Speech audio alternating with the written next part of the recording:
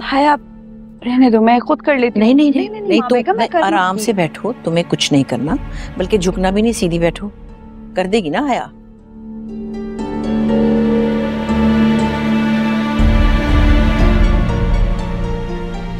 बहुत अच्छी मालिश करती है।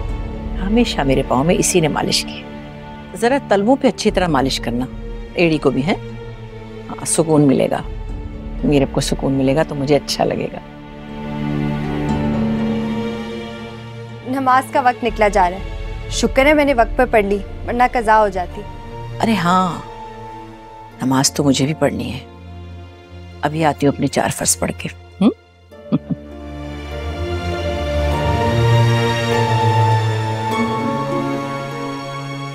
छोड़ दो है कोई मजबूरी नहीं है। मैं भी तो यही कह रही हूँ कि कोई मजबूरी नहीं है।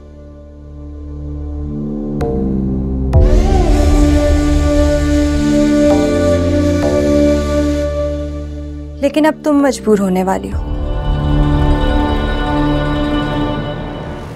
मेरा मोबाइल वापस करो।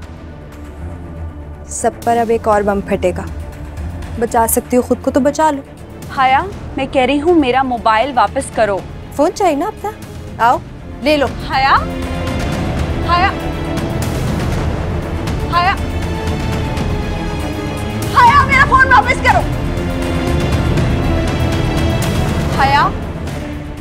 हाया मैंने कहा, मुझे मोबाइल दो मेरा। मोबाइल दो तुम्हें समझ में नहीं आ रहा। मोबाइल दो मेरा, वरना अच्छा नहीं होगा। मोबाइल दो मेरा। अच्छा मेरे साथ पहले कब अच्छा हुआ जो अब होगा? फ़ोन चाहिए? ये लो। ले लो अपना फ़ोन। लो फ़ोन। लो। तुम्हें ऐसे समझ नहीं आएगी।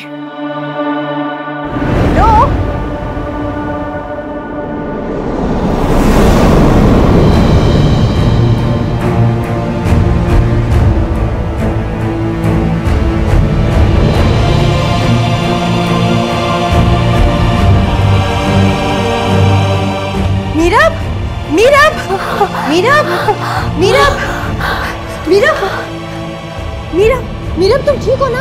मीरब माँ बेगम मरियम माँ बेगम मरियम माँ बेगम मरियम माँ बेगम। अल्लाह है ये क्या हो गया? मीरा मीरब तुम ठीक हो ना? अल्लाह है अल्लाह है क्या हुआ? क्या हुआ मीरा?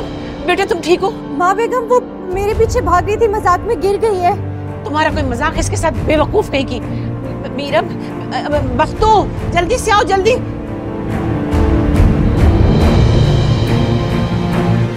जी जी जी माँ बेगम गाड़ी निकालो इसे अस्पताल लेके जाना है। अल्लाह खैर। जी जी बिल्कुल।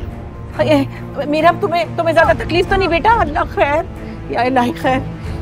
याद रखना अगर इसे कुछ भी हुआ तो मुझसे बुरा कोई नहीं होगा। बस क्या बेवकूफ़ लड़की हो तुम भी।